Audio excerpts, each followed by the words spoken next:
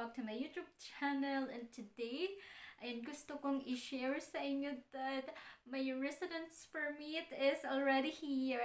Yes, because I waited for two months ayan until ayun magkaroon ako ng kantong card dito sa Germany because guys this is the most powerful kind of documents that you should have yan, kung magma-migrate ka dito sa Germany. Guys, I'm a Filipina and I'm married with a German guy. This time, I am having my family visa which is categorized as national visa. So if you are using visa type D as mine, ayan guys, and you should have this kind of residence permit. Sharing my experience guys because ayan, sobrang happy ko nga ngayong araw na to because ayan, nakuha ko na siya sa Auslanda Beholder or sa German immigration and with the power of this small card, I can stay for a long time dito sa Germany and I don't need to go back every 3 months like what I did before. Ayan, in the Philippines and also I can look for work now. Ayan, because without this guys, hindi ka pwedeng magtrabaho. Ayan, because this is yung unang hanapin sa'yo ng employer mo pag nagmagahanap ka ng trabaho. This card, I can apply for my own health insurance. Um, even though I was covered by my um, husband insurance, ayan, mas maganda pa rin guys that sometimes you have your own insurance. Also guys, this is your key to open a German bank account. Ayan, ang hirap-hirap guys. Hindi siya gaya sa Pinas that once you submit your requirements dun sa bangko, ayun, um, all is fine. But dito guys, ayan, without this, no health insurance, no work, no bank account, ayan, wala.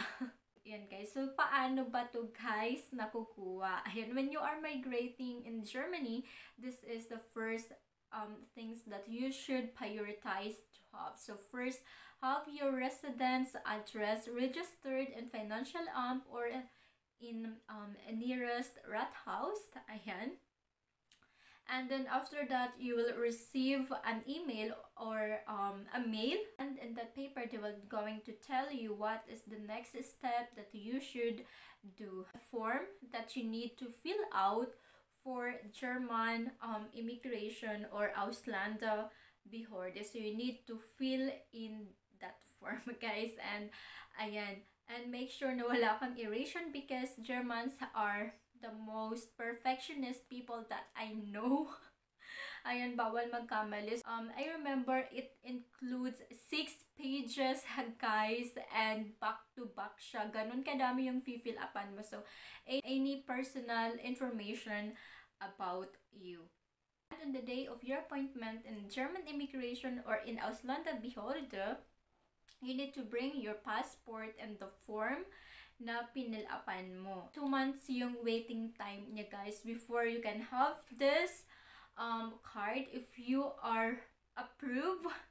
Ayan, kung i-approve ka nila guys na magkaroon ka nito because still they will going to check your personal background And sometimes, if you are not lucky, ayan, may na-trace silang something bad about you, they will not going to give you residence permit. Otherwise, ipapadeport ka nila going back to your home country. And, and additionally guys, I have seen many videos or hear a lot about their negative experience in Auslanda Behörde or in German immigration. I'm sorry for you guys that you experience those negative situation like that. I'm sorry for you guys, but me, I have different experience. So those workers that um handle my papers, my documents for my registration for this residence permit are so friendly. So the moment I open the door, they are smiling at me and say, hello, guten morgen. Ayan. They also offer me a cup of coffee.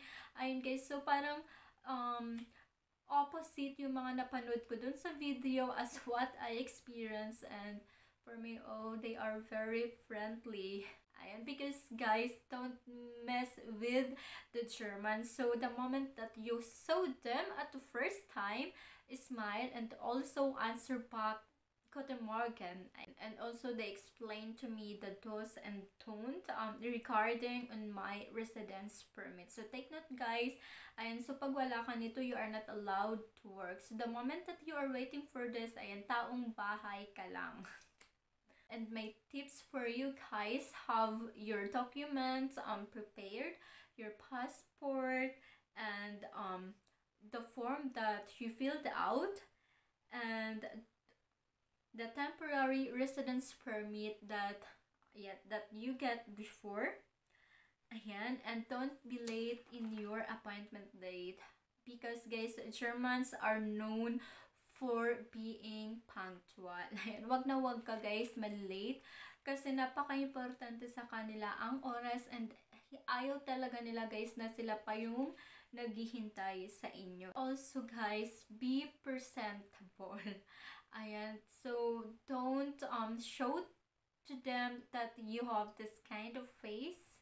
Like you want um to have argument with them. Why? Why? Why? Yan, binigyan nila ako guys ng recommendation to study German language on the higher stage because I say um, in the future I want to look for work and also I want to study. So they wrote um, my recommendation for my language course. I that sometimes um government also um offer language training for immigrants. And for free but in my case ayan nagbayad si si aking husband ng school ko sa um sa Berlin. Hindi hindi ko yun guys nagamit. Yan soon you will be immigrating dito sa Germany. Ayan.